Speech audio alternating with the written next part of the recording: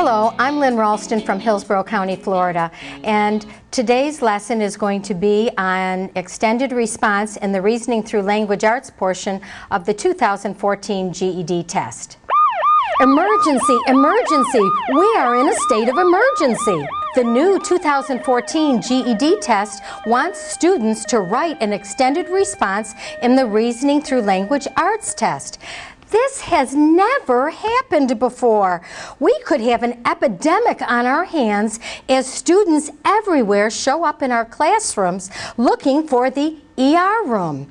You know, we must prepare for this type of emergency now so that we have the instruments, the knowledge, and the skills necessary to meet this challenge. So let's take a look into the ER bag for the skills and the instruments necessary to be effective. The first thing that we need is we need to find good complex reading materials that offer opposing points of view. Some different subjects might be school uniforms, mandatory drug testing, or junk food in the school's vending machines. You know, the ideas are endless. Find topics that uh, have the students look at two different opposing points of view. Next in the bag, we're going to look at different tools and techniques for gathering evidence from text. Okay, the first thing that we would want to do is to have a, a T-chart here, which is a graphic organizer, where the students can put opposing viewpoints, one on one side and one on the other. The other thing you would want to have your students do is you would want to have them number the text. Now, on the subject here of e-books versus traditional books, we might want to use some of our instruments, which would be highlighters, and our post-it notes. In this case, I've chosen pink and green, okay? Great instruments to use. And what we can have our students do is to highlight the different points of evidence that they found in text. Now what you'll notice on here is that for the e-books, everything is highlighted in pink. And for traditional books, everything is highlighted in green, so that a student would easily be able to pick out that information from the text. Then what we can have our students do, again, pink for ebooks and green for traditional, is we can use the graphic organizer and we can list the items that we found from the text and we can put down, such as um, better ebook is better for the environment, yet a traditional book won't um, have a malfunction or break. So after we have our students do this, then we can have them compare the, differ, the different evidence. Another tool that we could be using here is taking again our T-chart and to have a group project in the classroom is that we can have the students use those post-it notes and you can have it on the board displayed and the students can write their pieces of evidence again using the two different color coded post-its and then they can go and bring it up onto the board and that way they can compare the different pieces of evidence from text.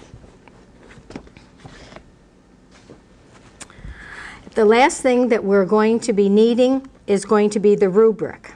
On the GED test, there are three different rubrics.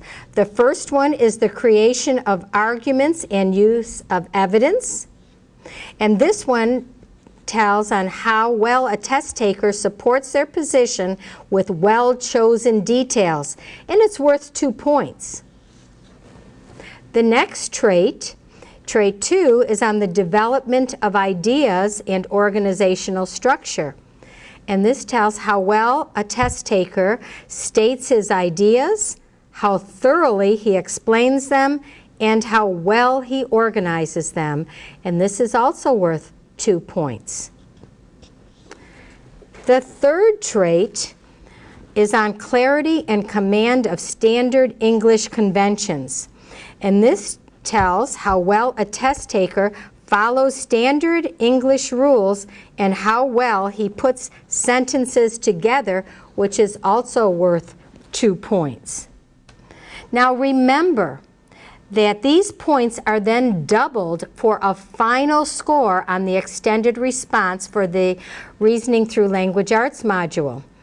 So an example of that would be if a student gets four points total from the three different traits, you multiply those points to get a final score of eight for the eight points for the extended response. Now, it's important to note that extended response will be evaluated based on the textual evidence used to support the position chosen by the test taker. It is not, again I repeat, it is not about what the test taker believes, but rather what position is best supported by the evidence. So when we look at this ER room, where this is where our students are going to look to you for guidance and support. You, the professional, the doctor, the one who can listen to them and what ails them on the reasoning through the language arts test. Now is the time to teach students about extended responses by providing them with the skills, the instruments, and the knowledge to survive and thrive. Be determined to make this emergency a success.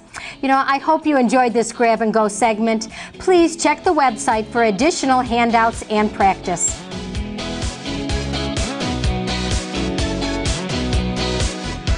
Thank you for tuning in to these GED Grab and Goes. These video segments are designed to give you, our teachers, information and ideas that you may use in the classroom as you're preparing your students for the new test. Stay tuned because there's more coming your way.